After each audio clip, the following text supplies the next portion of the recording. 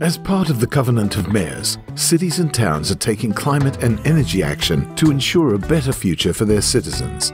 In Europe, over 10,000 cities have already joined the movement. For years already, cities have been turning climate and environmental challenges into opportunities. Time has come to make it the overarching priority. We mayors from all over Europe step up our climate ambitions. We commit to delivering action at the pace that science dictates. In a joint effort to keep a global temperature rise below 1.5 degrees. Our clear political decision is uh, that we will live in a decarbonized and resilient uh, city till 2050. With access to affordable, secure and sustainable energy. As signatories of mayors in Europe, we commit to taking everyone on this journey.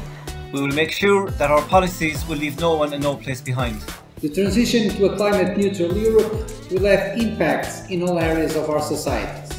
As local leaders, we must keep a watchful eye on those impacts. We can only envisage a transition that is fair, inclusive and respectful of all citizens and of our planet's resources.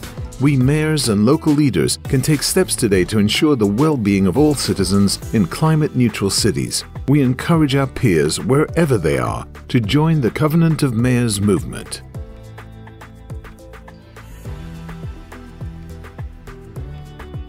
Together, we will work to turn this vision into reality.